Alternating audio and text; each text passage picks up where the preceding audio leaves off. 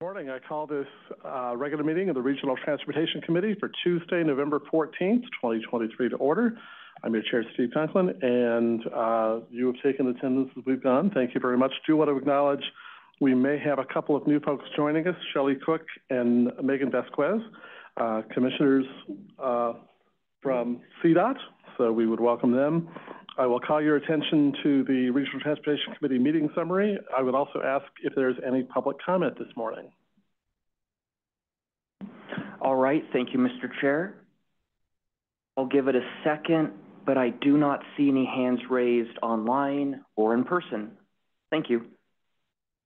Good to have everybody here. I had about a, a, a one minute stuck in elevator moment this morning, so I'm, I'm glad that, that you know, it, it's one of those mornings. We will move ahead with the informational briefings. The first is the Regional Transportation Committee orientation, attachment B in your packet. Jacob Riger, Manager of Multimodal Transportation Planning. The floor is yours.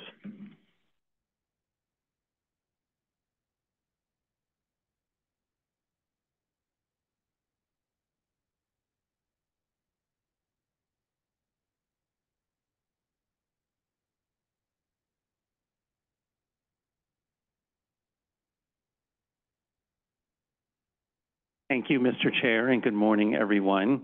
Um, since we do have a couple of new faces, and it's been a while since we've done this, we thought it would be timely to do a relatively, excuse me, relatively brief orientation, um, a little bit about DRCOG, but mostly about our transportation planning function and about this committee, the Regional Transportation Committee, which is um, our MPO planning committee. So um, hopefully you all know about DRCOG, um, but we are one of the oldest and largest and most diverse councils of governments in the country. Uh, we cover a vast area, as you know, and as you can see on the map. Uh, we wear a lot of hats and we have a lot of designations, both federal and state designations, and we'll get into a few of those as we go through um, the presentation. Um, but a couple of the big ones are we are by state statute a regional planning commission. Um, by federal designation, we are the Metropolitan Planning Organization uh, for the Greater Denver area, and that's most germane uh, to our work here on the Regional Transportation Committee. Um, DRCOG is also the area agency on aging for most of the region. Um, Boulder County and Weld County have their own uh, area agencies on aging as well. And along with our designations, we also deal with a lot of boundaries. Um, our DRCOG boundary, um, our MPO boundary, our air quality non-attainment boundary, and some others, and some of those are illustrated on the map um, there as well.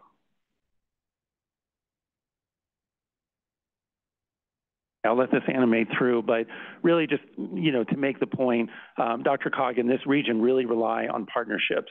We are our partnerships. We are our relationships we are our ability to work together as different agencies for the betterment of this region.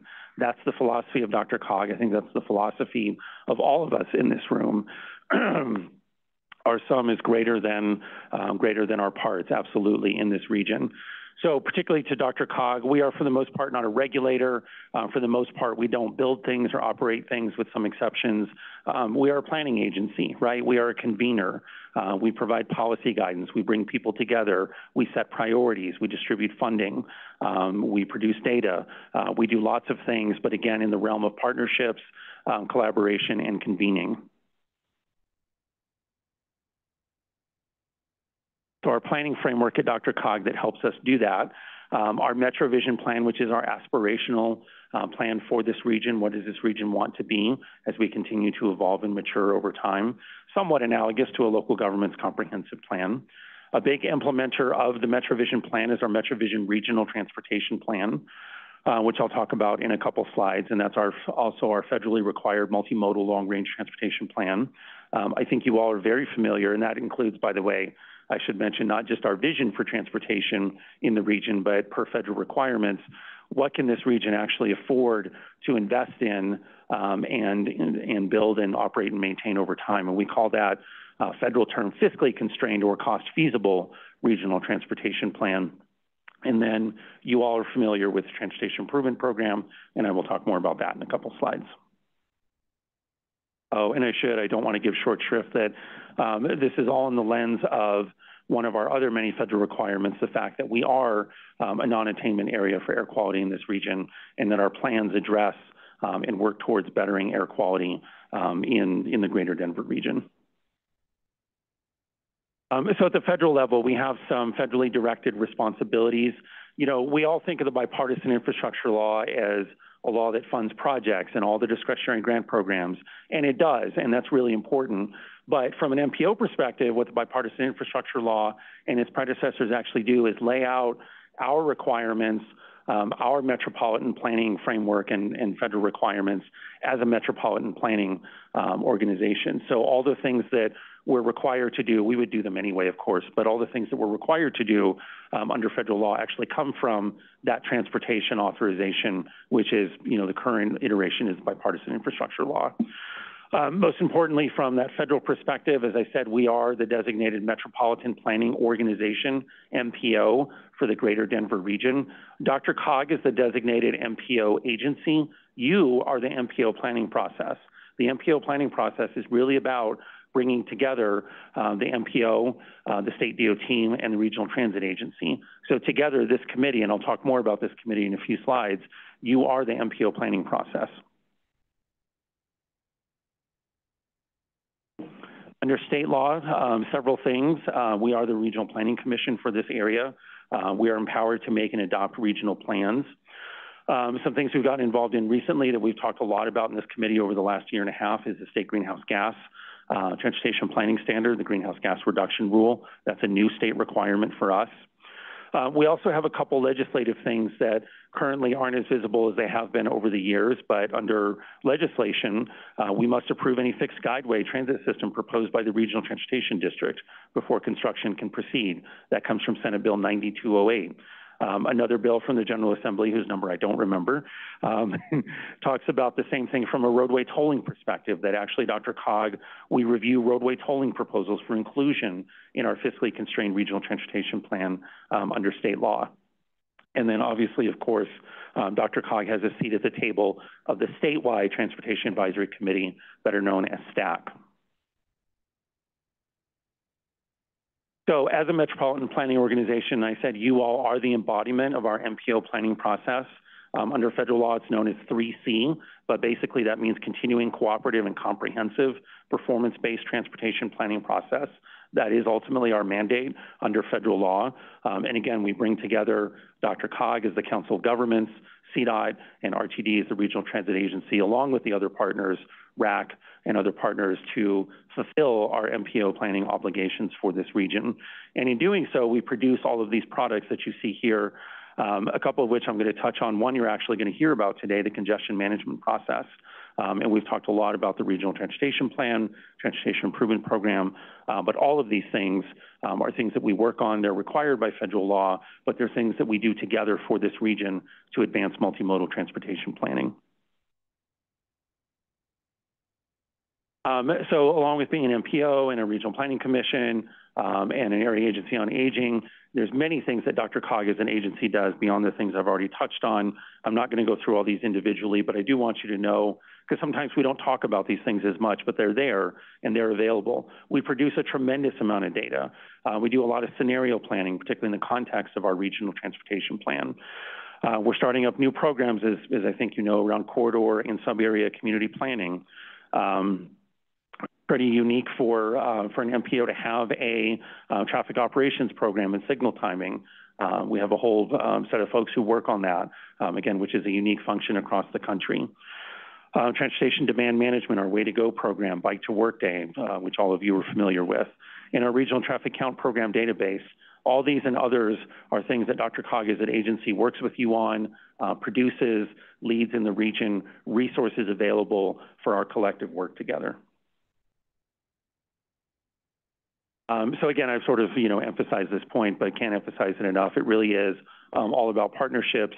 Federal law sets up metropolitan planning organization, you know, MPO planning, the MPO, and our work together as a cooperative um, partnership planning process. That's what we believe in, and that's how we try to work with you uh, together again for the betterment of this region, you and all the other partners listed here. So real quickly, some very specific things that we work on, and I've touched on these, and I think you're generally familiar with them.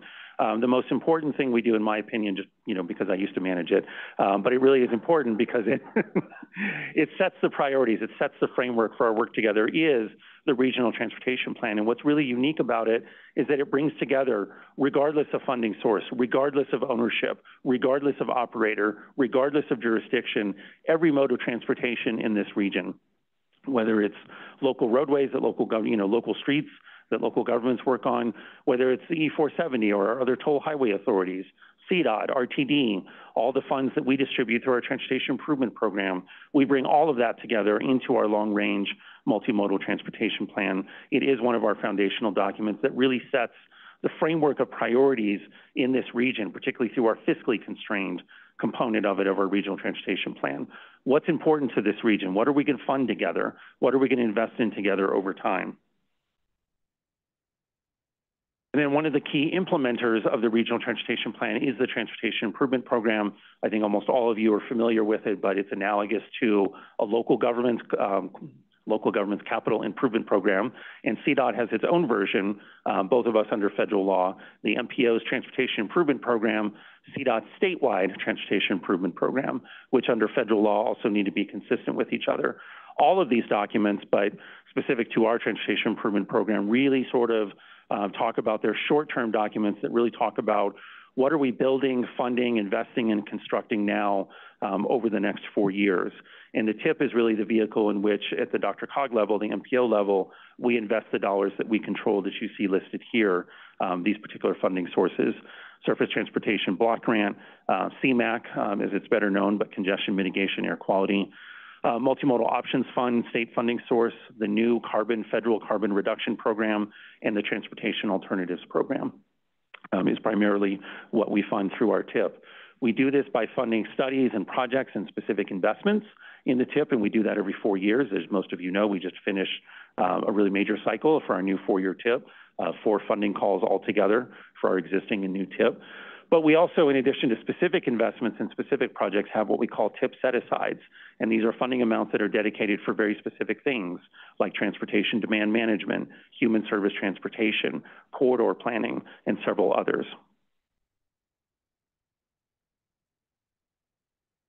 So again, I kind of touched on our work together as an MPO um, and our um, and how we're structured together and how we work together. Uh, we very recently updated our framework for transportation planning in the Denver region. This really is a transportation planning 101 document. Um, I would encourage all of you to look at it.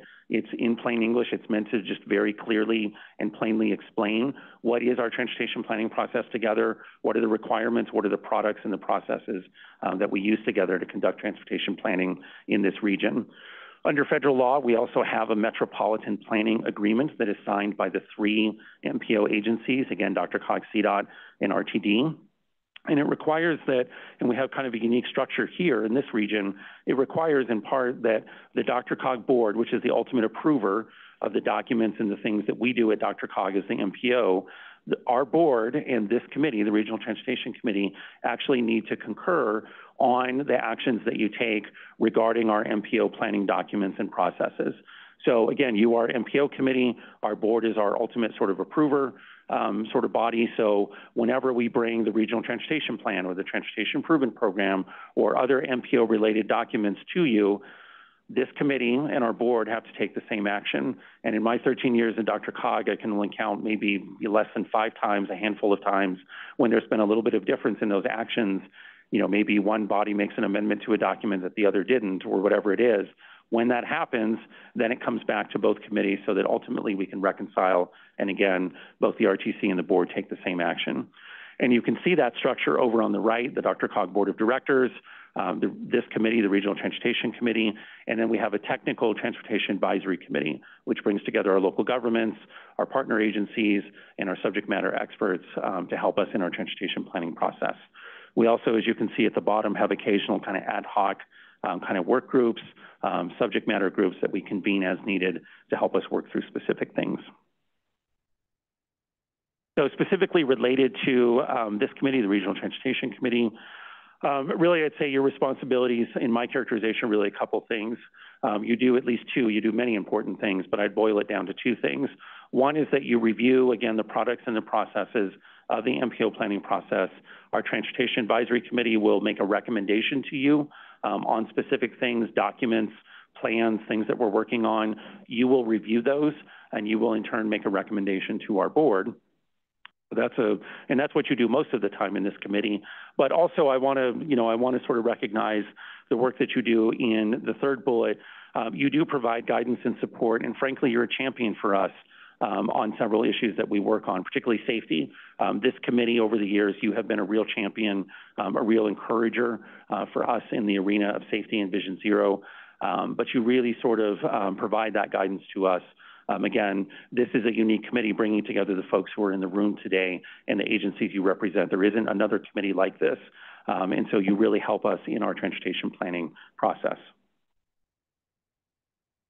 Uh, just a couple more slides. Um, so who are you? Who are you on the Regional Transportation Committee? Um, you are representatives, a subset of the DRCOG Board, the CDOT Transportation Commission, um, and the RTD Board of Directors.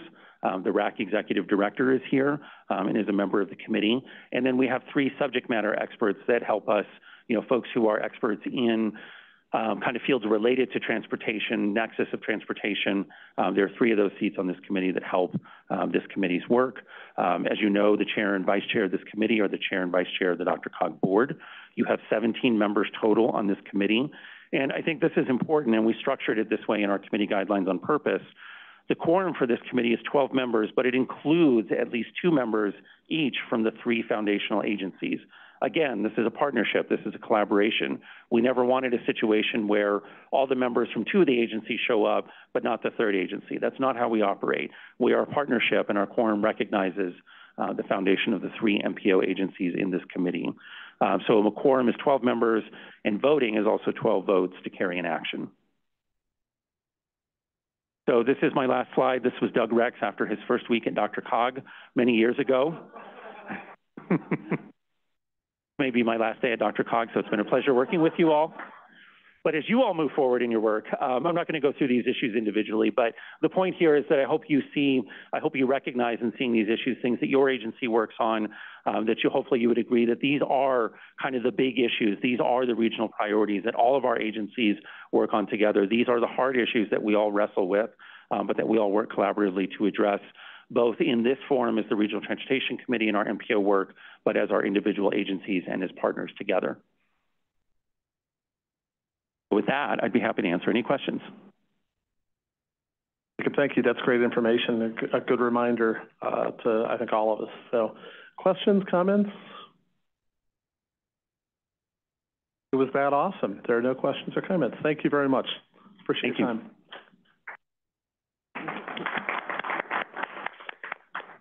That was the applause because you think it may be his last day at Dr.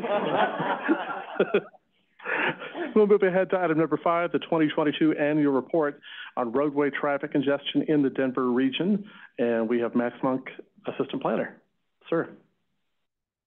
Good morning, Robert Spotts uh, with the Denver Regional Council of Governments. I will introduce Max Monk here in just one second, but just a brief introduction. First of all, we're very ha happy to have Max here. He's done the bulk of this work and will do the bulk of the presenting, but I'll take all the credit. Um, uh, just a few uh, questions for you all. Um, so first, actually, first of all, this is a 2022 annual report. We do these every year. It's a federal requirement, but things are changing a little bit more quickly now as we move out of the pandemic here. So the place setting back to 2022 uh, reminded DRCOG actually didn't come back to the office until April 1st of 2022 um, as a requirement. And we were wearing masks for the majority of 2022 in the office. So things were quite different then. We think travel was different, more different then than it is today. But I am curious, still today uh, in 2023, how many of you are still kind of traveling differently than you were in 2019? And getting things, foods, goods, services delivered to your home in different ways than you were before 2019? Also curious, today, do you feel like congestion is worse or, about the same level as 2019 today? Stuff. Uh, so this, we use this report as an opportunity to kind of keep tabs on trends uh, in mobility and travel in this region. Max will talk about 2022. Again, a very different year than we're experiencing today. Excited to look at the 2023 data when we get there, but lots of interesting stories from 2022. And with that, I'll introduce Max Monk. Well, thank you, Robert. Let's make sure I know how this works. Okay, cool. Good morning, everybody. My name is Max Monk, and I'm an assistant planner, part of the Mobility Analytics program. This is my first chance getting to, to speak with and present to you all today, and I'm really excited to be here. So I'm here to talk to you about the 2022 annual report on traffic congestion in the region. Um, Jacob mentioned this in his presentation, um, but this report is part of a congestion management process or a CMP. This process is federally required to monitor the evolution of congestion in the region across time. Um, DRCOG's process has a couple of different components. Uh, first being a database of roadway attributes, so things like uh, how many lanes are on a facility, how many traffic signals, so on and so forth. Um, we keep record of traffic counts, so the uh, amount of volume on a facility, crash incidents, and then multimodal data metrics, so, so things like transit ridership, shared micromobility usage, uh, so on and so forth. Uh, we take these and form it into our second component, which is the annual report on congestion, which is what we're here to talk about today. Uh, to provide an overview of what we hope to cover, I'm going to throw a lot at you guys, so I apologize in advance. Um, we'll start with the, the, trends and observations that we observed in 2022. Um, so we'll touch on vehicle miles traveled, transit ridership, shared micromobility usage. Um, we'll talk about if business as usual from the, the data that we, we saw last year, if it continues into 2050, what do we expect congestion to look like? Um, we'll talk about the shifting kind dynamics of commute corridors. Uh, Robert asked you a lot of questions. That was sort of the frame for, for this, this component of the presentation. And then lastly, we wanted to, to try something new this time around and see what's happening in the rest of the nation in the realm of congestion to, uh, to, to connect you all to the most recent and relevant information. So to, to start with those trends and observations. So VMT, vehicle miles traveled, uh, represents the total mileage traveled on our roads in the region on a given day. So this is a daily metric. Um, from 2000 to 2022, VMTs generally increased. Um, we've seen a lot of population growth in the region, um, and, and this is reflected in the level of travel that we see as well. Um, there are a couple of points where it's waned or, or decreased, notably during the recession period, as well uh, as a, a, pretty stark decrease of about 15% in uh, when the when the pandemic began in 2020. Um, but between 2020 and 2021, we did see uh, VMT recover um, pretty starkly. Um, but between 2021 and 2022, we only saw 1% growth in VMT, and this su surprised us. So, in terms of the mileage traveled on our roadways, um, we, we, we're still not at those 2019 pre pandemic levels. We also take a look at VMT as it relates to our region's population, so VMT per capita. Um, and you'll notice it follows a lot of the same, same trends, dynamics as, as the standard VMT metric. Um, notably, we do have a, a, goal in our MetroVision Regional Transportation Plan of 23 VMT per capita.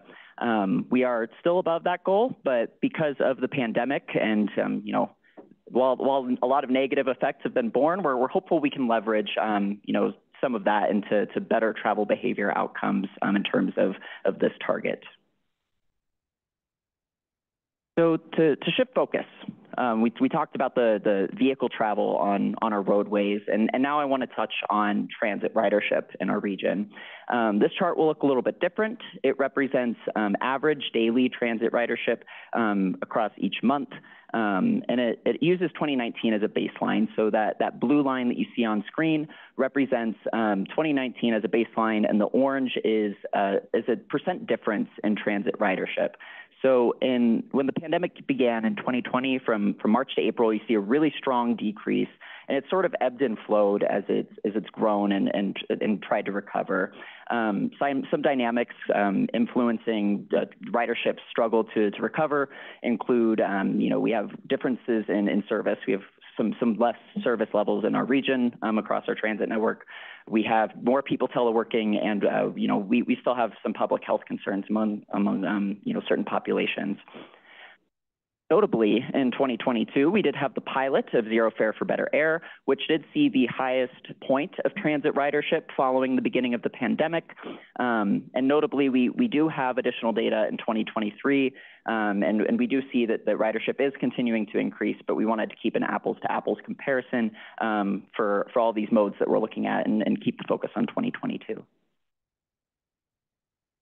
shift to, to shared micromobility. So, so this refers to, to devices that are smaller than an automobile. Think um, shared bikes, shared scooters. Um, these can have stations or be dockless. I, am sure that, that many of you have seen um, or have a, a, picture in your mind of what this looks like, um, especially downtown and in other pockets of the region.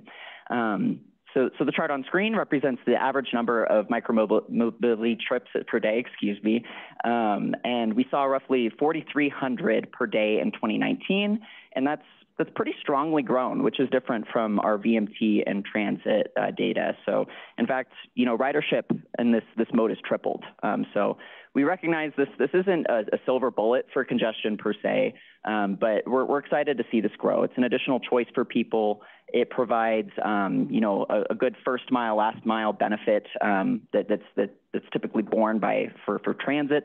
Um, so, you know, we're we're excited to see this continue to increase. So to shift our focus back to our, uh, our roadway system and, and, specifically freeways, we were really interested um, where, where the, the highest degree of magnitude um, of congestion exists in, in our region and, and where, where is it most severe. And uh, through internal discussion and, and what we've heard externally, we, we looked at a handful of different corridors um, and we wanted to showcase uh, the, the couple that, that really told the most interesting story and it probably doesn't surprise um, many of you, uh, the, the, corridors that are on screen. So we have I-25 from I-70 to University Boulevard in green, and I-270 in its entirety in orange. These corridors represent 3% of our freeway network length. And despite this, um, they, they hold or bear roughly 22% of delay on, in our, our freeway network. So delay represents uh, a noticeable slowdown, stop and go traffic, where you're, you're delayed from a, a more expected reasonable travel time. Um, and another way to look at this is, you know, roughly one out of every five minutes spent in stop and go traffic happens on one of these two corridors. Um, so we thought that was really interesting and, and wanted to call that out. Shift focus and look at, um, you know, what what do we expect congestion to look like in 2050? And this is especially if the data from 2022 continue on into the future, sort of business as usual. Um, it's important to note, you know, 2050 is a far, far way away. No one predicted the pandemic. A lot can change in, in that level of time. Um, so, you know, this is just one possible future, and it's it's important to, you know, take this with a, with a grain of salt of sorts. Um, but we like to look at the, the same sort of metrics. Um, so vehicle miles traveled per capita, as I mentioned um, prior, we're, we're expecting that to grow to 27 miles per day. And that's, that's compared to the target that we mentioned of right around 23 miles per day. Uh, every year, we calculate a, a, rough estimate of the cost of congestion, considering things like fuel spent idling, um, people's time um, being spent in traffic compared to more productive means, um, so on and so forth. And, and, we use this really to gauge how, how that, that changes across time. And um, between last year and, and 2050, we're, we're expecting that to increase by 67%. Uh, for, for some of you who've been part of this committee for, for some time, the, the, um, the graphic on screen probably looks familiar, but it, it does remain true. Uh, congestion at 2 p.m. in 2050 is expected to, to, look and feel a lot like congestion did at 5 p.m. in 2022. So we're, we're seeing, um, or rather expecting congestion to, to shift temporally. Um, we're expecting our, our, peak period, so that, that evening rush hour to, to, to shift more into the early afternoon. So to, to provide some context on where, where this all exists uh, spatially, um, so I can't tell how hard it is for you to see uh, from your perspective, but the red lines on screen represent corridors that we identified as congested in 2022.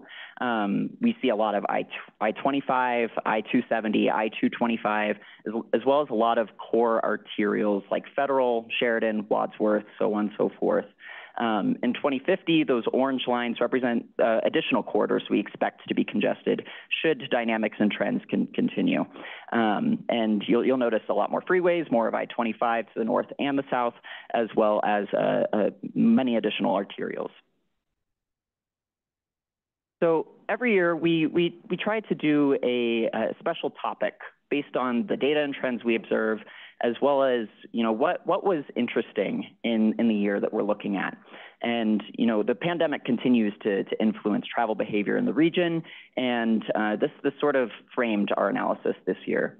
Um, as you're, you're all aware, telework became a public health necessity during the pandemic, um, and it, it, remains really prevalent and frequent following, um, following those worst impacts. And this is especially the case for, for people who have historically commuted into an office environment. This led us to the research question, uh, have the dynamics on these historic commute corridors, have they shifted? Um, are, we, are, we seeing fewer trips being taken places? Are we seeing congestion shifting? Um, and, and, we wanted to, to look at this and examine, you know, different travel time and traffic volume data, both prior to the pandemic and in 2022. Kept this focus on our freeway system. So we, we, we looked at a, a, number of different corridors and are, are, going to highlight the three that we, we think tell the most interesting stories. Um, we have the Lakewood to downtown Denver um, corridor along US 6, Highlands Ranch to the Denver Tech Center, and then Mid-Aurora to the Denver International Airport. And we identify these all as, as primary commute um, corridors uh, between these two destinations um, for each. So that morning commute from Lakewood to Denver, um, in, in 2019, to start with that travel time variable, um, it, it, would take you an average of 11 minutes to, to travel that corridor end to end. Um, and in 2022, it, it, took you an average of nine minutes. So that's a, a 14% decrease in travel time, and as such, a, a decrease in that stop and go delay. Um, two minutes might not feel like a lot, but that, that's multiplied across all of the, the vehicles that we see on that facility. So that, that's multiplied across uh, tens of thousands of vehicles. Um, so, so there are there's more stable um, stable travel flow occurring on this corridor. But when considering volume, so the, the number of vehicles on the facility, um, we we actually see that we're about the, at the same level on this corridor as 2019. So um, so we have the same same number of trips being taken, but but more stable tra travel speeds. Um, so what what this shows us is that you know, telecommuting and flexible schedules are, probably a pretty key explanation here. People are, are probably working from home. Uh, they, they might be taking trips at different times of day because their schedule allows them to. Um, so so we're, we're seeing some changes on this corridor. From Mid-Aurora to the Denver airport, um, in 2019, it, it, would take you an average of 25 minutes to travel this corridor to end to end. And um, in 2022, it was the exact same. Um, the airport notably had a, a record number of passengers in 2022. Uh, we, we saw a lot of growth in housing and jobs. Um, so, and, and you know, we expect that to continue. Um, looking at volume, we, we actually saw during the busier travel months, like around the holidays, we actually saw more, more volume on, on this corridor. So by all accounts, we, we feel this corridor is back. Um, so, and, and really to, to frame that in a larger context, even though VMT and the vehicle miles traveled is not at pre-pandemic levels, some corridors are, um, and, and we expect this, this corridor to, to continue to grow into the future. And then lastly, the Highlands Ranch to Denver Tech Center corridor. Um, and uh, in 2019, it took you an average of 23 minutes, and in 2022, it took you an average of 18 minutes. So similar to that Lakewood corridor, we see a decrease in travel time and delay. Um, but different than the Lakewood corridor, we, are actually seeing a lot less volume on this this this facility. So um, so we we know we feel that because there there are less trips being taken, telework is probably some component here, but we, we also do acknowledge the C470 managed lane came online during this period, and uh, that could be pulling some vehicles off of the general purpose lanes, which would make for, for a more stable flow of traffic. So Next, to, to pause and frame this a bit, we wanted to, to take a look at, you know, what, what's occurring in, in the rest of the nation in the realm of congestion. And we, we looked at a lot of different stories and wanted to share the, the few that we thought held the most interesting information and, um, you know, would, would keep you informed and, and sort of, you know, they're, they're pivotal in what we expect to come in the future. So first, we have the discussion of communication between smartphones and traffic signals in Dallas, Texas, the production of a micromodel allowing planners to look at congestion live in Chattanooga, or a digital twin. And then this one's garnered some media attention, so I wouldn't be surprised if, if some of you have, have seen this one, but the implementation of congestion pricing for streets south of 60th Street in, in Manhattan in New York City. Start with that Dallas example. Um, you know, to, to, to preface, smartphones have, have become very ingrained in our lives, right? Um, you know, and this is, this is especially true in the realm of navigation as well. Um, you know, we, we plug destinations into our map. We, it'll, it'll show us where it expects slowdowns to occur in, a, in the form of a red or an orange line. Um, and that's because other people have phones and are, are experiencing it. So smartphones network with each other. They, they know where congestion exists. And Dallas is, is thinking about and considering upgrading their traffic signals to tap into this network. So when, when devices pass, pass below uh, a traffic light, uh, it would provide them with information. And, and they're hoping this would enable more efficient traffic management. Um, but they're, they're, they notably haven't taken any action here. This is all just, just dialogue in Dallas in Chattanooga, Tennessee. Um, yeah, through machine learning and real-time data, researchers from the National Renewable Energy Lab and Department of Energy created a micromodel mirroring Chattanooga traffic conditions with precision. So they did this similar to, to the previous example, um, using cell phone device data as well as connected vehicle data. Um, but they also employed uh, like on, on street sensors to, to provide um, data where, where there may be gaps. Um, this is known as a digital twin, and it enabled planners to under, understand the underlying causes of congestion and pinpoint specific areas of improvement. Uh, to our understanding, these um, once once using this this digital twin, planners employed some some different strategies to mitigate congestion, and researchers observed a 32% reduction in delay and a 16% reduction in fuel spent idling. So um, those are those are pretty pretty strong impacts. And NREL and the DOE are notably trying to scale this up and bring it to other regions. So this is something we'll certainly keep an eye on and um, you know look into as it moves into the future. And then lastly, uh, in New York City, they are uh, considering congestion pricing. The city, state of New York, and Federal Highway Administration recently approved a cordon zone in the central business district for streets below 60th Street in Manhattan. And, and what this, this will do, it will enact a toll for all personal and commercial vehicles um, that enter this space. So it doesn't charge people for driving in the facility uh, or in the, the zone rather, um, but, but it's a one-time fee that they, they pay when they enter. Tolls will range from a low of $5 per driver overnight to a high of $23 per driver during peak periods. Uh, they're notably aiming to accommodate lower income drivers by providing a 25% discount. And after 10 tolls are paid or 10 trips, this will increase to 50%. Um, notably, they, they have not released what, what threshold they're expecting for lower income. Um, so, so that is still to be determined. Um, the city uh, feels that this will reduce VMT in this space It'll shift vehicles to um, more auto-centric facilities like freeways and thoroughfares, which won't be charged the toll. And they feel it will encourage um, people to use other modes of transportation, to walk, to bike, to take transit, um, which, which will not be, be tolled. Um, and then lastly, they, they feel it, it, will be a good new revenue source to, to support MTA, their transit agency. And to, to sort of wrap this whole section up, um, you know, we're, we're, we as staff aren't advocating for any of these, these policies or premises, right? We're just taking a look at what's happening in, in the nation and wanting to keep you all as informed as possible um, as, as we move into the future. So to wrap up, I'm so sorry I threw so much at you all today, so thanks for your patience. But you know, we do expect congestion to intensify moving into the future. Um, but at the same time, we're doing a lot of really good work. We have Denver Region ITS working to make our signal network more efficient to, uh, to help, you know, have more stable traffic flow.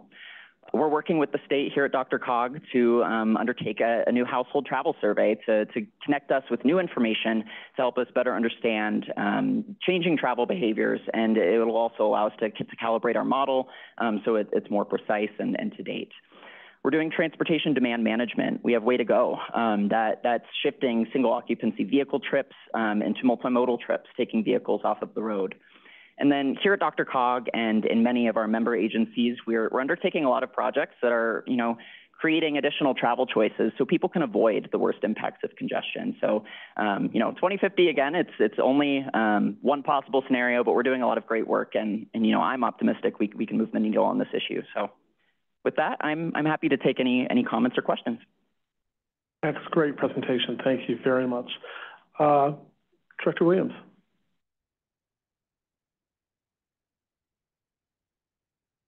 Is it working? Yay. Um, that was a great presentation with a lot of really good information. I have a whole page full of notes that I might ask some later. But the thing I wanted to ask now, I, I heard, I think I heard, that Apple is changing its data reporting so that people can block their phones from giving that kind of data. Um, are we looking at how that's going to affect this kind of information? Yeah, that's really interesting. Um, that isn't something that popped up in our research, but um, that's something we'll look into. And you know, it's it's tough because private companies get they can do do what they want with that data, right? Um, so we can also derive pretty good samples with, you know, I'm sure that not every phone provider will will restrict their data. So I don't know. We'll we'll continue to monitor that moving into the future. Welcome, Shelley Cook. Thank you very much. Um, okay, uh, do you ever break down or do you incorporate uh, an analysis by age group for your travel patterns in terms of your projections and also planning purposes for investments? I'm thinking of me, um, you know, I'm one of those people you're probably characterizing, but um, by the time an improvement that you plan gets done, I probably will use it only for 10 years or something, hopefully more. But Austin here will use it for decades longer. So are we weighting Austin's patterns appropriately, I guess is what. Yeah, that, that's something we're increasingly looking at as a program. Um, there are a lot of really neat and cool data sets coming out that we're, we're monitoring that allow us to, to look pretty intentionally at how travel behaviors are changing across demographic. Um, and um, you, you, know, the data, we're still sort of vetting a lot of this, um, but it's something we're, we're really considering. And um, right now we're really relying on the insights that, that we hear in public comment and in, in, a lot of the engagement that we do as an agency. But, um, but yeah, no, we'll, we'll continue to, to look at that. Do you have any? Our, our travel model, which is where a lot of these projections come from, certainly takes into account all those demographic. Very morning, we were looking at why, one of the reasons that the capita may be increasing in the future. And one of those reasons is that there's going to be about 4% less children in our demographic estimate. So there's far more people of driving age in 50 at by VMT per capita. One of the reasons. Dr. Broom.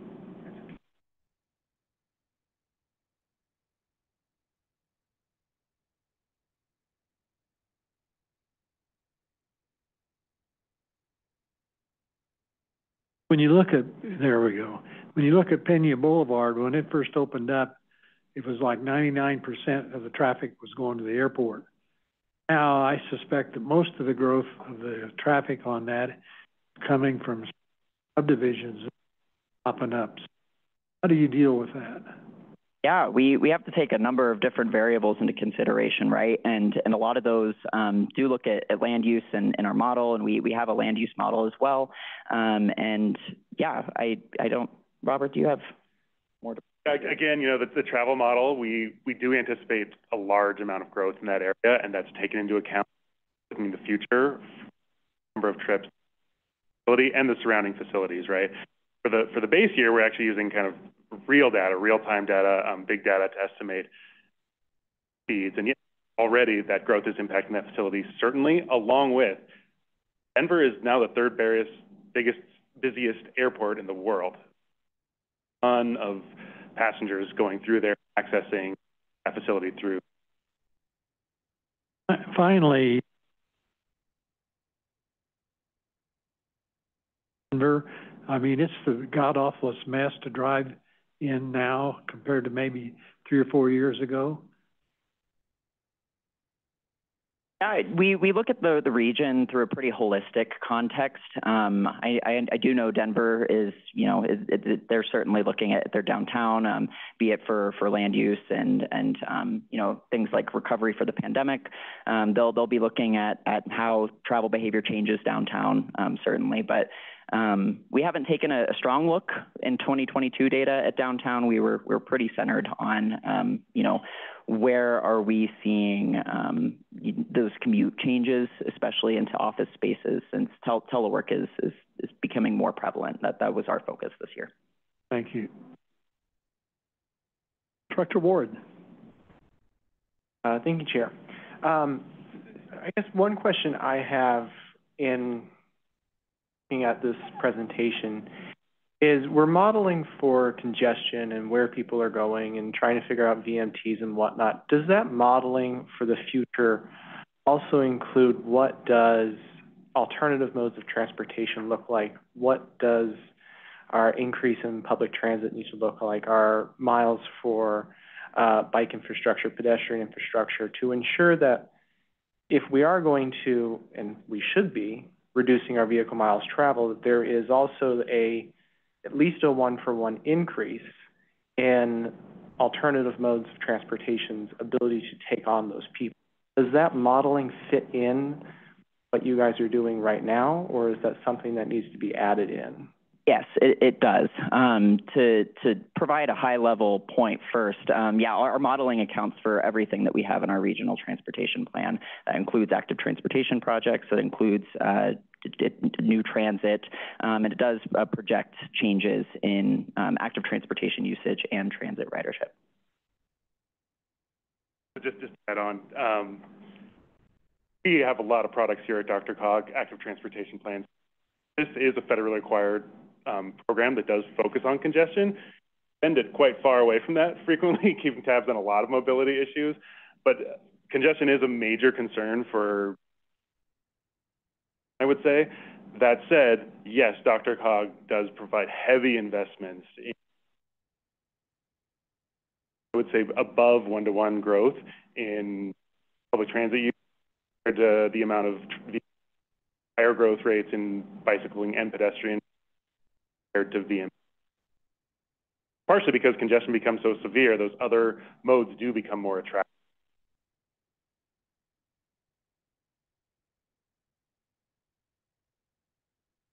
Well, I'll just, this isn't so much a, question, although it may, may lead to an answer.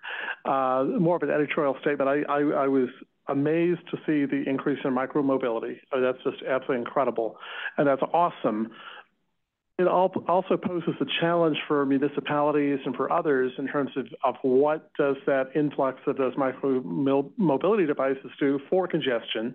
The downtown Denver issue, I think that plays in. And then also, you know, in, in my community, for instance, we're doing great work at, at, at improving handicap ramps, improving sidewalks, and then you have those micro mobility devices that tend to park exactly in the middle and I don't know if they if they measure, but it it it it, it it's absolutely amazing the number. And even driving in this morning, the number of, of sidewalks that were blocked by those micro mobility devices. So there's got to be some intentionality with with with looking at those public-private partnerships and the mixed blessing that something like that provides. Yeah, absolutely. Um, and that that's something that we've seen and heard from a lot of agencies, right? Um, about about sort of you know humans are imperfect creatures. They'll they'll leave things where they want to sometimes. um, so yeah, I think you know here at DRCOG we have space to really talk about that across our region, um, and that's that's something local agencies continue to grapple with as they expand those partnerships. Okay, thank you, Director Mulvey. Hi, I'm from uh, Douglas County in a in an area that doesn't have RTD or micromobility options, and that's a matter of uh, regional and local population and government choices. So what I'm I'd like to understand is how we use the data and studies that you have to benefit these large growing areas in small towns that don't have these facilities, even though they're the focus and they're what reduce. How do we how do we serve the needs of areas that don't have that?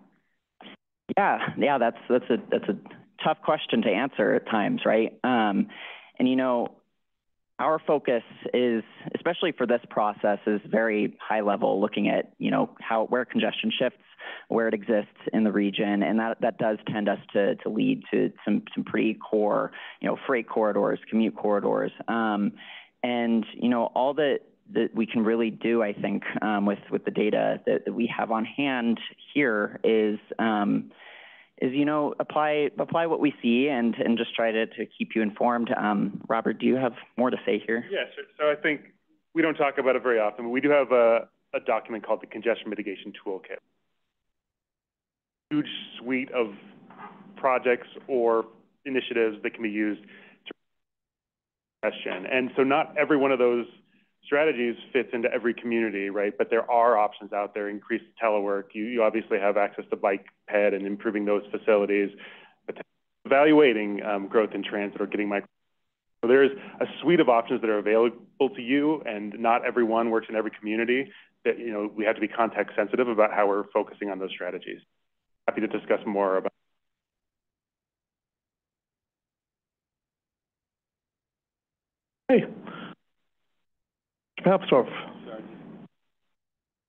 Thank you, Max and Robert. Just a couple of um, maybe wrap-up items. I think as we get into the middle of 2024 and kick off the, the uh, region's update to the long-range regional transportation plan, which will will kick off next year. I think based on this conversation, it will be really important for us to come to you and talk about sort of how we do travel forecasting and how we use that tool, what that incorporates, how we forecast, and how we do scenario analysis. We did a lot of scenario planning work the last time we developed uh, the 2050 Regional Transportation Plan. It was really informative and really gave us the opportunity to evaluate sort of the impacts of different regional choices, both on the transportation investments that we make together and our land use and development pattern choices, right? And sort of how those interact and affect the outcomes as they relate to our regional goals around transportation, air quality, climate, all of those things. Um, so keep stay tuned for that. I think that'll be really important for this group to ground that, right? Because I think you you all had really good questions and comments launching off from this one piece, our, our congestion management report, into all of those bigger issues that span well beyond um, this. I think the other piece, the micromobility question, is is something that I'm personally really um, is really creating some questions in my mind about the impacts on transportation because what we don't really know yet is how how those micromobility systems are impacting transit and other trips. Are they are they just adding more trips to the network that that may not have existed? Are they replacing walk trips? Are they replacing transit trips? Um, or is it a new new tool to help more people access transit? And are and are we doing the things collectively to maximize the benefits of that system or not? And, I'm, and so we're still grappling with a lot of those questions. The good news is that we do have a really robust regional micromobility partnership program that DRCOG started with a number of local jurisdictions around the region to start to investigate that and manage that and talk collectively about how we implement and sort of manage the micromobility system. So a lot of those things all tie together and just wanted to make sure you were all aware that we are thinking about those things and we're working with all of our partners on those issues. Thank you.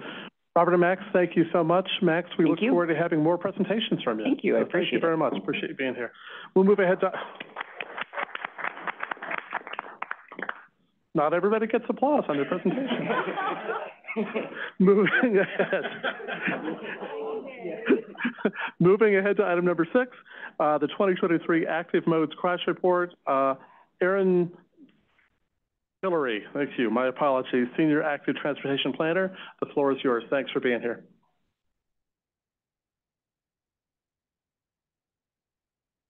All right.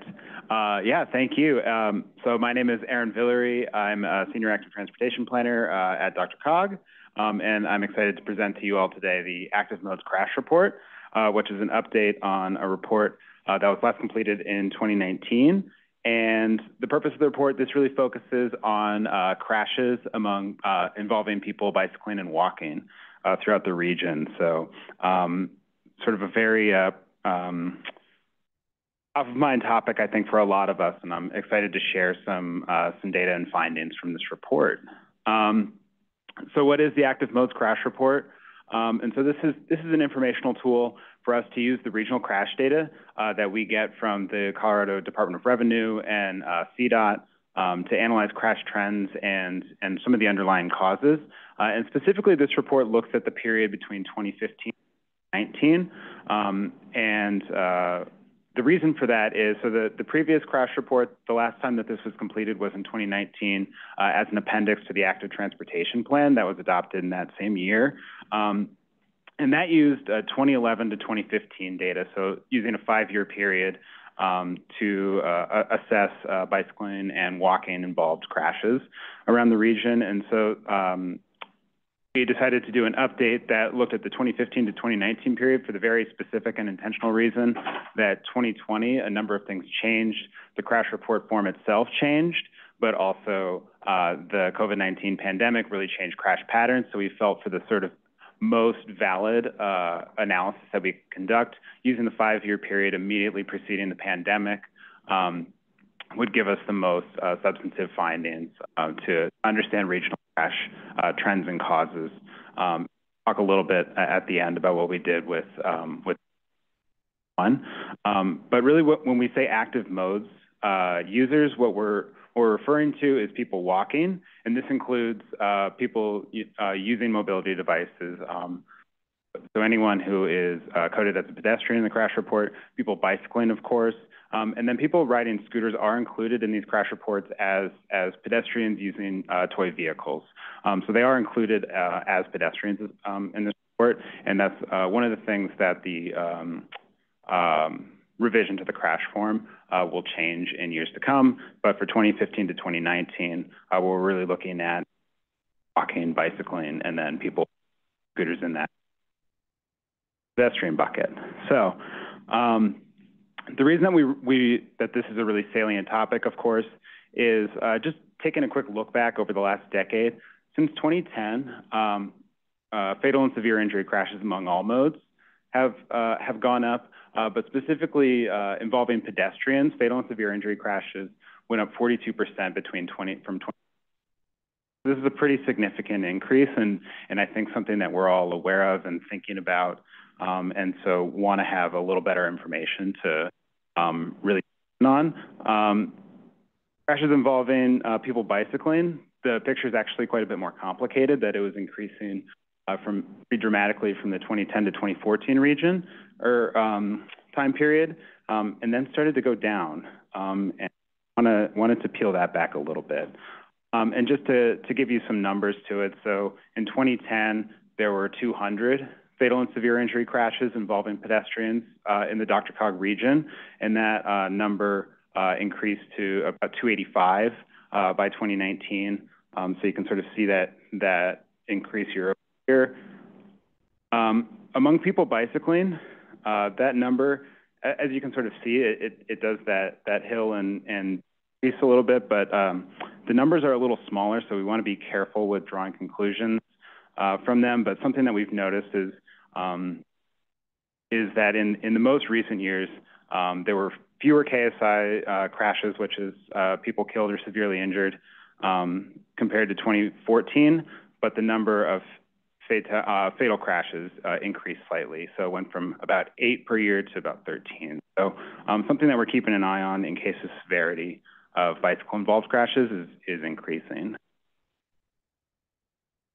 Um, but the, the thing that makes this a really salient topic for all of us to be thinking about is that um, active mode involved crashes are about 3% of all crashes in the region, but about 22% of fatal and severe injury crashes around the region. Um, and uh, that's simply, uh, you know, in, in large part because people who are using active modes don't have vehicle design to offer them protection in the event of crashes. And so the severity tends to be greater uh, when people bike, biking and walking are involved in these crash events. And so they're overrepresented among uh, fatal and And, and one of the key findings that sort of um, overarches all of this is that speed amplifies crash severity, and we see this across modes, but specifically um, with people walking. Uh, as speed increases, severity of crashes really uh, increases dramatically. And so posted speed uh, was 35 miles per hour or greater.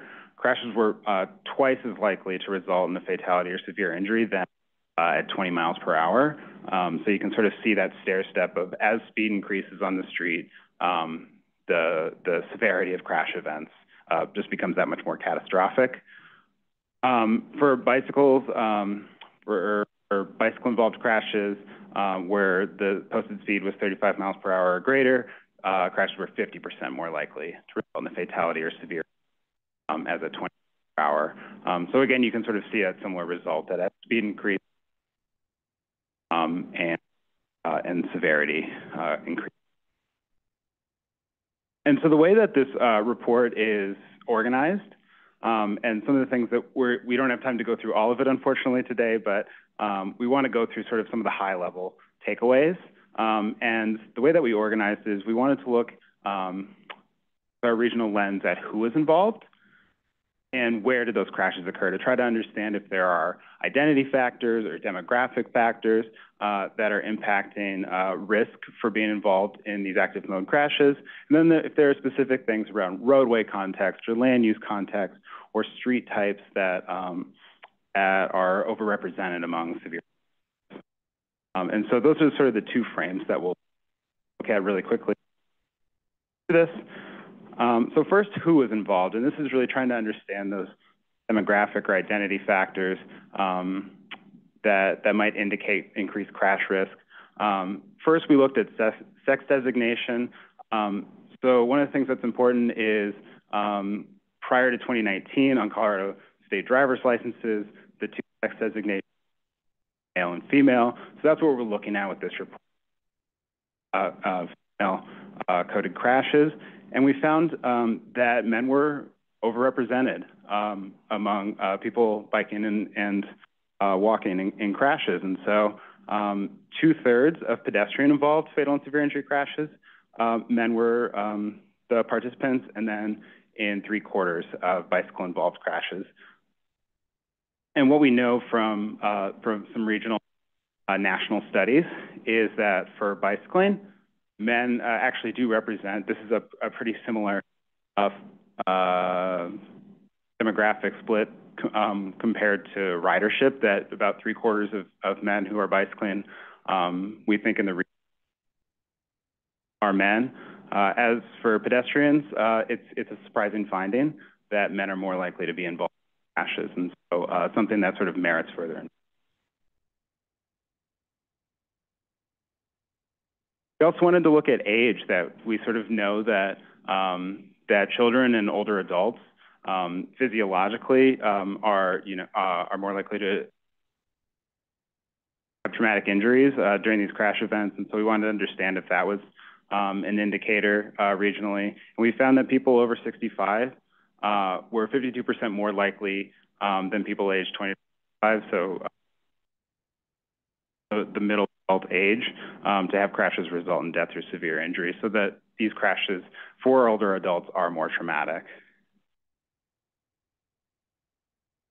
And finally, we used, um, we wanted to understand how demographic factors and specifically trying to point to DRCOG's equity index and to understand um, if certain demographic or sociological indicators um, indicated increased risk for biking and walking crashes. Um, and so we actually used the, uh, the um, Equitable Transportation, um, Equitable uh, Transportation Communities Explorer, which was uh, created by USDOT, um, which is an index of different demographic um, and socioeconomic factors um, uh, for uh, nationally, but at the census tract level. We wanted to understand if, if those tracts that uh, had a higher index score had uh, increased crash risk. Um, and we found uh, there are three sort of indicator sets. Uh, so social vulnerability uses things like unemployment, um, household income, um, poverty threshold uh, to uh, indicate social vulnerability. Environmental burden um, uses things like uh, high-use facilities, um, pollutants, like that. Um, and then cost burden is, of course, how much a household is spending on transportation.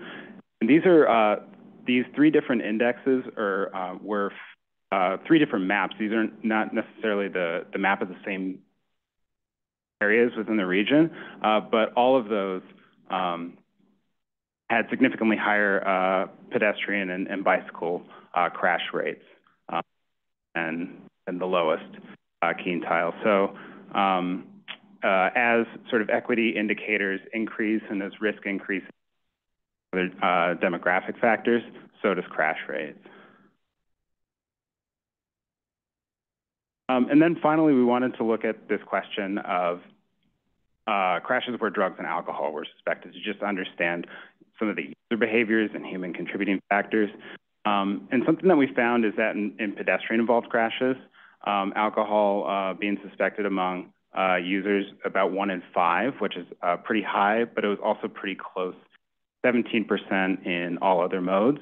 Um, so we do think that uh, that alcohol uh, involvement uh, is is something that um, may be playing a role in crashes um, among all modes, and so something to keep. The other thing, and I'm I'm just going to kind of run through some very high level, you know, sort of nuggets of, of information about where crashes did occur. Um, but I'd encourage you all to, to read the report for a lot more detail. But what we really wanted to do um, in this investigation about where crashes were occurring to, was to understand if there are certain road types or intersection types throughout the region that um, were indicating really acute risk for people biking and walking. And so we, um, what we did is, is we started with uh, looking at modes. So we looked at uh, pedestrian-involved crashes, and then we looked at bike. And we used uh, the area types developed during the Regional Vision Zero um, action plan. Um, and so that divides the region into urban, suburban, and rural area types. Um, and we wanted to understand sort of where on the street are those crashes uh, taking place, and are there specific types of streets or intersections um, that are um, significantly more risky for walking uh, and bicycling. And what we found is regionally, uh, the majority of crashes involving pedestrians occur at intersections. Um, and that number increases as um, more urban and suburban locations. At those places on the roadway where there's conflict, there's more interaction, and so that's where we're seeing a lot more of the crashes. And just to pull out one, um, uh, so first of all, uh, when we were looking just at the uh, or at the region as a whole, 41% um, of pedestrian-involved intersection fatal and severe injury crashes involved left turns, and then 38% involved broadside collisions so uh, cross-direction or, or, perpendicular collisions.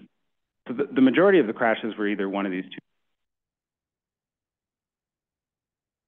And then specifically, um, we looked at intersection types. So among the intersection-involved crashes, we wanted to understand are there certain types of intersections where there are potentially common movements, common conflicts. And what we found is in urbanized locations, um, the major arterial, the local intersection, uh, a third of all crashes were happening at that one intersection type. So you might think of a major, um, either an unsignalized or, um, a signalized, but with permissive movement crossing. So a narrow uh, crossing a wider street. This is where a really significant number of crashes were taken. So um, a lot of those were either the broadside or the left turn crashes. So this might be um, turning cross a crosswalk with a permissive movement or um, uh, an unsignalized crossing, um, but something to uh, just be aware of that these major to minor crossings uh, accounted for a really a disproportionate number of. And then just kind of popcorning over to, to quickly look at bicycle fatal and severe injury crash locations.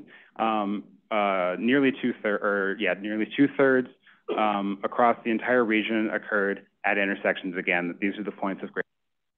In urban areas, three quarters um, at intersections.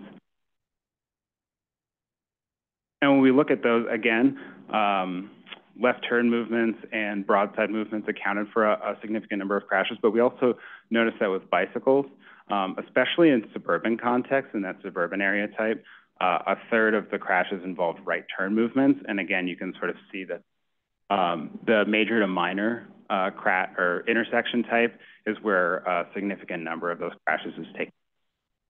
Um, right turn movements emerge um, as a of these crashes. Finally, we wanted to understand some seasonal factors. Um, so we looked at uh, the hour of the day um, and then time of year. So starting by just looking at uh, crashes by uh, by time of day throughout the period, and that um, bicycle crashes are really concentrated to peak hours. That you can sort of see how it it uh, it trends up during the morning and then uh, that long commute whereas pedestrian-involved crashes really increase during the afternoon uh, and evening hours. And so you can sort of see that as, as an activity increase, that, um, that those crashes are also um, following along.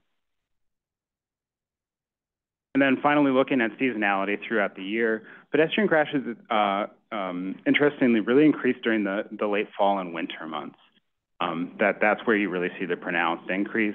Whereas bicycle crashes, um, we're really concentrated to the summer and early fall, where you know where you have more um, uh, friendly travel weather for for active transportation. So two really uh, different. Uh,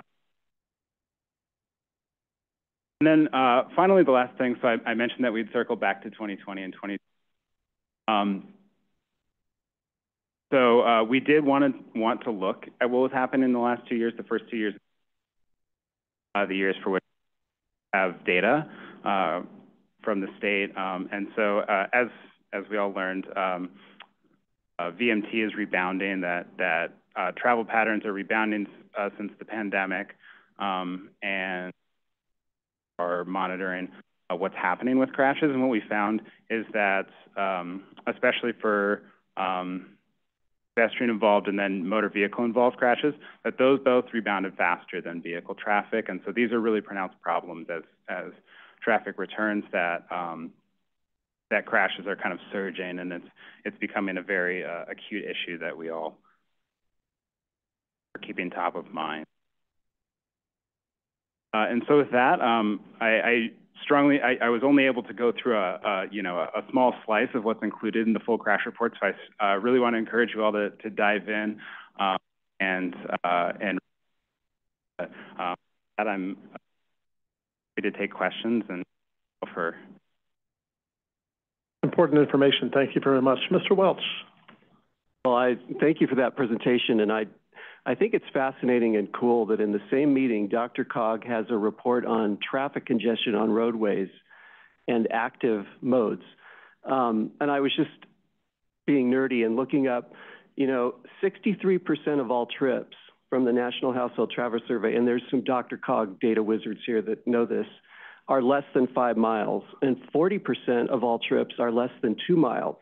Now think about those numbers and how many of them are being, you know, served by suburban assault vehicles. Oh, I mean, suburban utility, you know.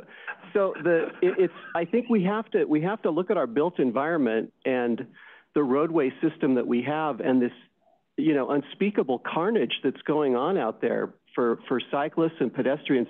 You know, you might have seen that Senator Fetterman, he's going to propose legislation nationally to do you know, do something about this. But I, I really commend DRCOG on keeping their eye on both of these issues at the same time because they're related to one another. And if we don't do more to deal with all these trips that really should be on another mode and they shouldn't be cars, we got to deal with freeway congestion. I get that. But for too long, I think collectively, we've ignored the fact that we're driving around way too much, and, and if we don't change both land use and the built environment and the transportation system, we got, you know, anyway, that's just my two cents worth. Thank you.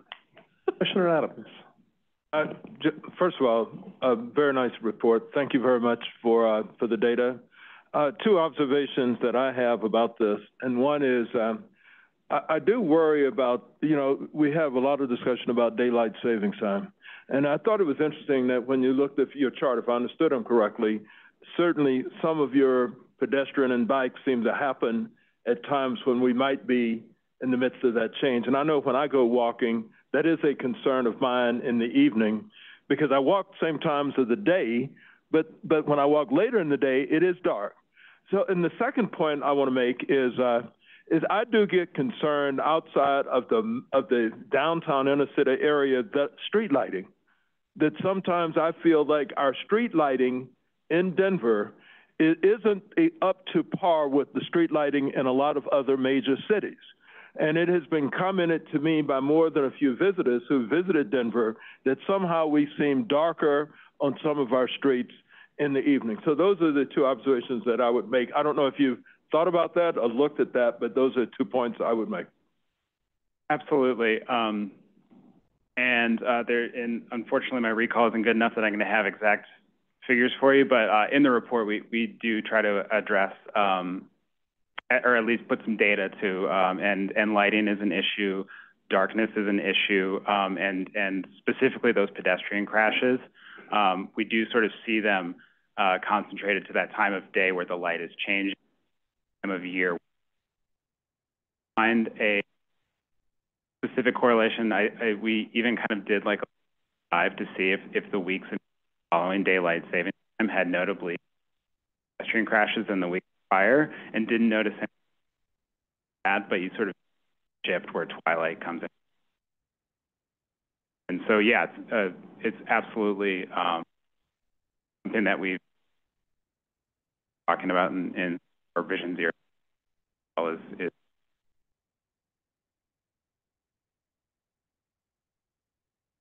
Four people in the queue. Uh, we'll go to Director Mobley first, then Director Ward, uh, uh, Commissioner Holguin or Ms. Holguin, uh, and then uh, Mr. Tisdale.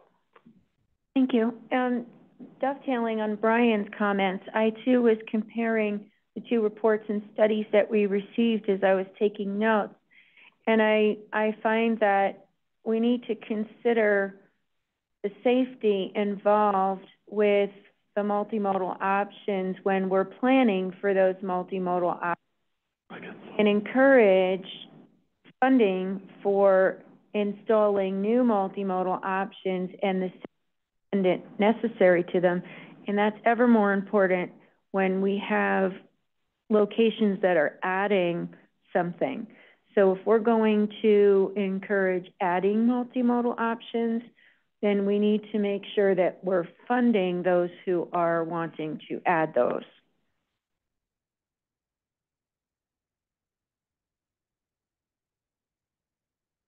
Thank you so much for this overview. It's, uh, it's definitely something that we all need to be concerned about.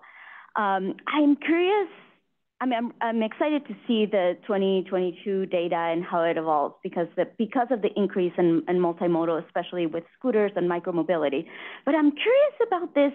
I don't know about you all men, but I mean, I'm concerned about the 77% and 67% um, rates.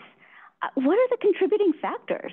Uh, uh, has there been a deep dive and I, I see your face a little bit nervous. Should I ask the men in the room to leave to have this conversation? Oh, no, I, yeah. Sorry. Yeah, I, I guess I'm just curious about the, the um, it seems like an overrepresentation of um, pedestrian and bicycle uh, fatalities or severe injuries um, when it seems like it's not necessarily just men on the road or not just necessarily men biking and uh, walking. And so I'm wondering if there's been a deep, deeper dive as to why this is. Yeah, um, one, um, I'll preface this by saying that there are certain things like when we talk about the difference in ridership among like cycling populations that men seem to be bicycling at a much higher rate than women are that that would certainly um, uh, be a contributing explanation. My confidence interval down as, as and other causes. There's some interesting research that um, that I think we we footnote in the report. Um, using things like travel diaries and near miss logs to sort of understand um, maybe incidents or things that discourage people from bicycling. Um, so there's a researcher in Aldred, who's done some really interesting um, research and specifically for some of the safety and security um, uh, factors that contribute to, uh, for instance, women being less willing uh, to bicycle in traffic um, that I think is, you know, that, that diving into. The pedestrian disparity is pretty surprising um, to us, certainly, that, that men um, uh, were so much more overrepresented among crashes. And I think it, it does merit a deeper dive um, because of some of the surrounding research travel differently. I think could tend to be crash participants. Women are just smarter. That's why I asked for permission. and more patient, perhaps. Um, and I, and I guess the second, um, I don't know that it's necessarily a question, but one of the there are certain behaviors that I noticed on the road, and one is um, how we've forgotten what red arrows are. I mean, I was just turning here, and um, and the young man behind me just kept honking, and I'm like, I am not taking a red light for you, dude, especially when there's bikes. And so there, it seems like we might just need a reminder. Um, on the road. So I'm just curious about how we use this for education, pedestrian safety, and um, and I guess just taking more precautions and education as we learn more about these factors. Thanks. I've made the comment before that, that lack of driver's ed and lack of, of some of those norms that many of us may have grown up with, uh, I think do affect some of those things, just to editorialize. Director Tisdale, welcome. Thank you very much. I appreciate the opportunity to inquire about this. Um, it, it's a very good presentation, very interesting. Referring back to this same slide, uh, I think it's page 12 in your packet where you have the difference between male and female in the crashes. Do we have, by the same token, a male-female breakdown on the uh, operators, the vehicle operators in those crashes? Because we focused here on the victims. What about the operators? How does that break down on a male-female uh, categorization? Yeah. So um, one of the shortcomings with um, data 2019 and prior um, is that it's consistent how it breaks down operators, and so it's sometimes like really hard to judge uh, who different crash participants are. This is something that as the 20, the, the new crash form in 2020 has much better information, has narrowed in a little more sure. Um, but it's it's it's a limitation of the data that we have that that we're not able to uh, extrapolate the level of detail. Yeah, it's it's a great question and, and something Thank you. we often have people who don't mirror the experiences of the women we're asking about. And I would encourage thought, as I often do in DRCOG and other locations, to the fact that women are typically the ones who bring their children places and are needing to do that and cannot do it on a scooter or a motorcycle and often cannot do it on a bus or a train. That may be the single most big factor. Secondly, many women are discouraged, rightfully so, from utilizing multimodal transit um, and evening hours for safety and for going places for safety. Um, it is inherently a single occupancy mode of transportation, and that is inherently unsafe for women of many ages. Thank you. Commissioner Cook. Thank you. I, am sure you're doing this, but are you looking at vehicle weight as it increases as a factor in fatalities and so forth?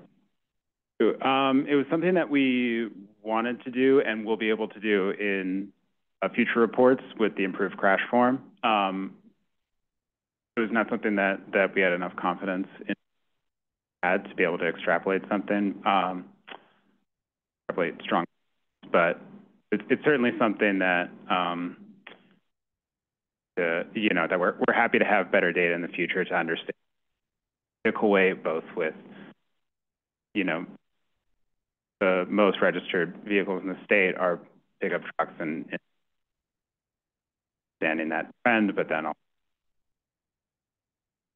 lot of emerging trends that we're going to be. Just for what it's worth, I read a report this morning that the gap in uh, expected life uh, span for men and women is the widest it's been since 1996.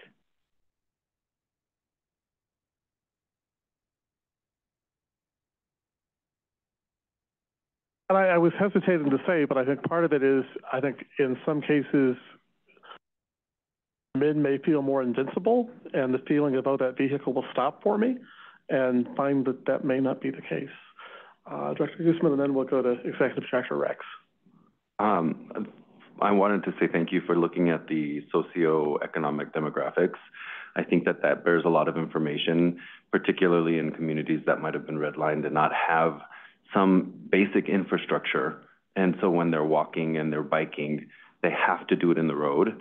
Um, I'm thinking of communities like Elyria, Swansea, and Globeville here in Denver that I represent.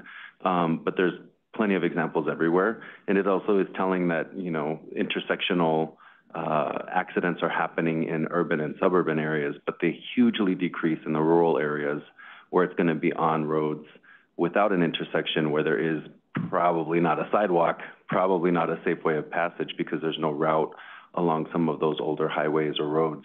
Um, so I can't wait to dig into that information, but thank you for factoring that in. I appreciate it. Absolutely. Thank you very much. Executive Director Rex. Thank you, Mr. Chairman, very much, and thank you for the the uh, conversation and to the great presentation today. I, I too are very interested um, in in uh, you know as the data as we go forward, right? Because as we know, I mean, listen, we're facing it's a transportation revolution that's happening right now with regards to e-bikes. The ability for people to extend the, the amount the trip to um, based on just you know your your traditional pedal bike to e-bikes is significant. Our own Robert Spotts, for example, I mean, he commutes what, seven, seven miles? Seven miles here, seven miles back daily. Um, and, you know, he's not, he's not a sweaty pig when he gets here, right? So it makes a big difference. Right? I hear a lot of complaints. no, but it is, but it, you know, the simple fact is though, right, that folks are not going to use, they're not going to, yeah, they're not going to use facilities or they're not going to use that mode of transportation unless they feel safe. And I know there has been a lot of attention being placed on um, uh, protected uh, facilities for, for, for bicycle use. And it will be interesting to see how that plays out in the future, right? What the what you know the crashes and where they're located are they adjacent to uh, protected lanes or the like that would be quite interesting i'm actually i'm I'm interested in the fact that it's at intersections. It doesn't surprise me, but I don't know how protected lane solves that problem. Um, as someone who who who uses bicycle downtown a lot, like every day, I'm very aware of some of the concerns, as was mentioned, regarding the red arrows and the like. And I'm hypersensitive to that because um, you're right. It's about 50% of folks are not are not stopping at red arrows. So we got to be careful. It's more of a public education campaign. But I'm very interested in this. I think e-bikes is it's the future for us, and we need to be able to be able to provide the infrastructure funding to get get projects done to make it more more readily available. You yourself, he drives. You should see this bike he has. It's it's a it's it's like a boat. I've ever seen like it. it's this bike and it's got this what do you call it? Some Cargo bike, yeah, we had, you can put two kids in it. And that's the other thing, right? They're becoming more and more shared trips on bikes. And there's a concern about the safety associated with that too. And I know you probably think about it every day as you pick up kids. So, um, so I'll just leave it there. Thank you. Dr. Williams. Um, but interestingly, the offset, the fastest growing population in Denver are older adults. And those people are not using scooters and, and unfortunately, not enough of them are riding bikes, um, even though they're e-bikes, even though some of us older adults, mentioning no names, ride our bikes all the time. But that offset to the number, uh, the increase that we're seeing in multimodal. So I'd be interested to see how that balance plays out as we move forward. Aaron, thank you very much for the presentation. Another applause earning Thank you for being here. We appreciate it. Uh, moving ahead to member comments and other matters real quick. If you park downstairs, remember to get your parking uh, get out of jail free uh, ticket. Uh, and then we'll go to reports. First, we'll start with the Colorado Department of Transportation. Commissioner. I can take the first stab at it, and then I'll hand it over to other commissioners or Darius. Um, so we had a, a, really good, we've had a couple of uh, really good meetings at the Transportation Commission. As I mentioned, I think it was last time, we have um, uh, several, six new uh, commissioners. And so this has been a really wonderful opportunity to take a step back and look at the really big picture. And so we hosted a, uh, a an all-commission retreat where we were able to get um, some really good ideas as to what could be helpful.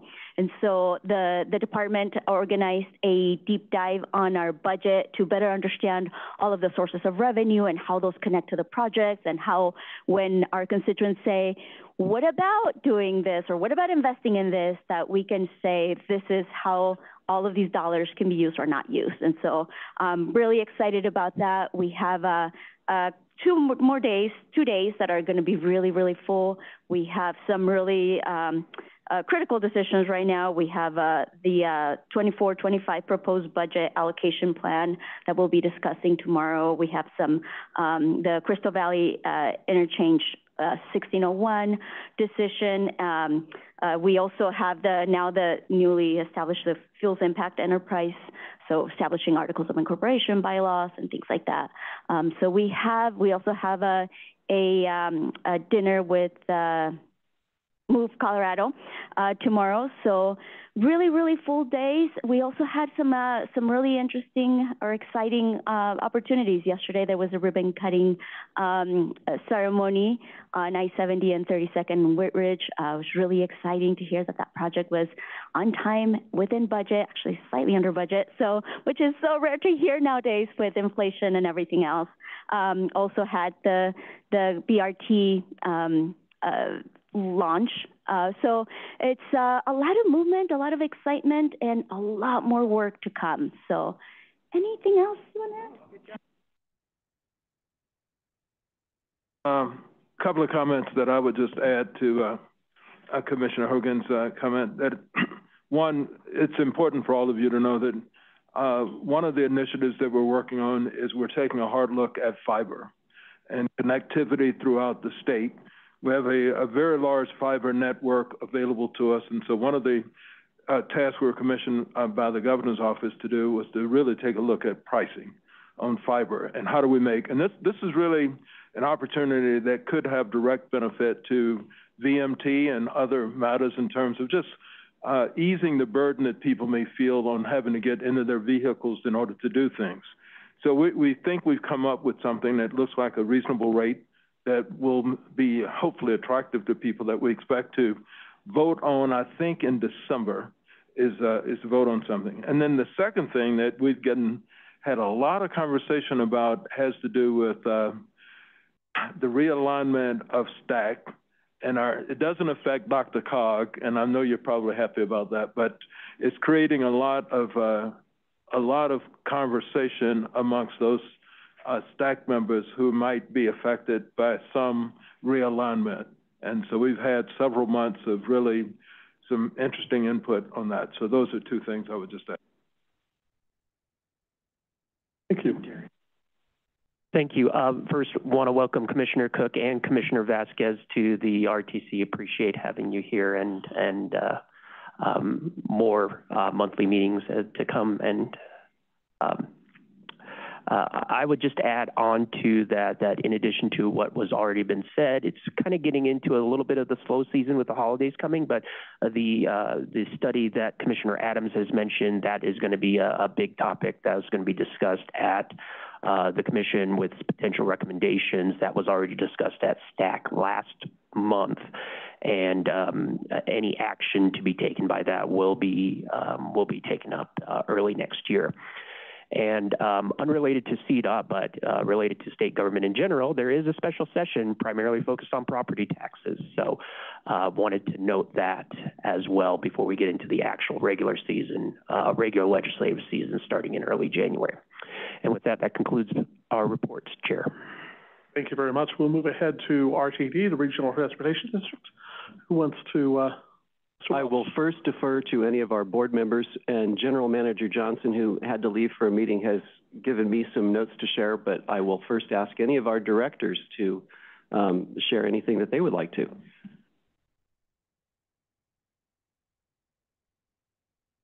Okay. Um, General Manager Johnson wanted me to mention that the Zero Fare for Better Air draft report has been submitted to the Colorado Energy Office, and we are awaiting comments. You can take a look at that. Because it's on our brand new website that is launching tomorrow night, this website was built using Web Content Accessibility Guidelines 2.2. It incorporates a third-party tool to provide more support for users who need accessibility assistance, and the content will be available in English, Spanish, and Chinese. The other thing I'll just mention is the Board of Directors will be considering starting tonight and then as a full board later this month, the 2024 operating budget.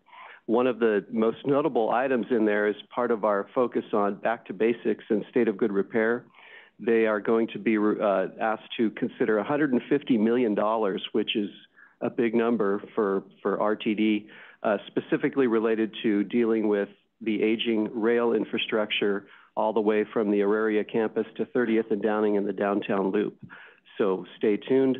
That would be a very major project for the agency, but one that, as you know, if you've been around, we started in 1994, and a lot of that track needs to be rehabilitated. And rather than spread it out, I think the, the, the board has emphasized we need to do this and we need to get it done. It, it will not be easy, but we'll be working very closely and collaborating with all of our partners to minimize the disruption to our customers. But that's what I had. And if I can just uh, footnote that, uh, because I chair the Finance and Planning Committee, and we'll be bringing that forward tonight at our Finance and Planning Committee meeting. And uh, yes, the goal is to try to do all of this work in 2024. And I think that's because we realized that the uh, upheaval on the 16th Street Mall wasn't quite enough, and so we do that. So please don't hold it against us. Director Guzman. Uh, the the proposed uh, addressing of the aged infrastructure also includes the catenary wires and other infrastructure along that, not just the rail. Um, so that's really important to keep in mind. It's the whole system holistically needs to be dealt with um, to, to do the proper repairs to keep people safe. And Debra's commitment to protecting customers and, and our riders and the public is forefront in this goal uh, for next year. Also, with respect to the website, we are starting with the three languages, but we do recognize 21 protected status languages, and those can come online fairly quickly in short order as they are requested by the public um, to do so uh, in our work. And so that's really important. It's not using a translator to translate what's written in one language. This is actually done for the whole system uh, about the website. So that's a really key feature of this update that I am really, truly excited about. It provides a lot of access and equity. Thank you very much. I can't believe I forgot this since I was at the uh, at the ceremony for this. But you know, last week we announced over at CDOT Bus Rapid Transit, an initiative that really I think is exciting for all of us in the metro area. And I just I can't believe I I failed to mention it completely, but I do. It's a great partnership between DRCOG and RTD and CDOT that I think will really have uh, bring a lot of value and a lot of benefit to citizens of the metro area. So forgot to mention it. Sorry Thank, about that. No worries. Thank you very much. And uh, Regional Air Quality Council, sir. Okay, great. Thank you. Um, just want to let the let the group know of the uh, the plans at the Regional Air Quality Council for new programs or expanded programs, and then our, our research areas for um, air quality improvement. So we'll be um, we'll be expanding our efforts for an, a vehicle high emitter identification, maintenance, and repair program with monies. Um, most of these monies do come from DRCOG in our um, in our in our set aside program. And so we're pleased to uh, uh, be in the, the final um, stages of planning uh, more outreach in that area, along with um, more intensive anti-idling campaigns around schools and, and, and other locations. Uh, we will continue our work for um, oil and gas and lawn and garden equipment, um, emission controls, and, um, and improvement in, in those areas. And then we'll be focusing on some new areas, um, looking at um, building and appliance emissions and how they contribute to our, our, our air quality issues and also what are called indirect sources. Indirect sources are those large either trip generating or trip attracting activities that we have, whether it's a, um, a, a ballpark on, on game day or a, um, uh, large warehouse distribution center that um, is is providing all those services directly to our, our residents and our and our places of work that uh, we didn't have 10 years ago and 15 years ago that are now a really large part of our of our infrastructure and the use on on our highways and our roadways. And so how do we um, gain emission reductions in that area? So RAQC will be just launching a whole a new array of, of research and program offerings and I wanted to let the group know. Great, thank you very much. Any other matters by members? Seeing none, our next meeting is December 19th. We'll see you then. This meeting is adjourned. Thank you so much for being here and for all you do.